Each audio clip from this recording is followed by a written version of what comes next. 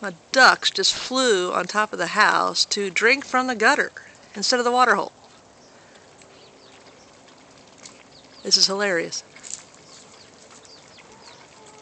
I guess they like that a little better.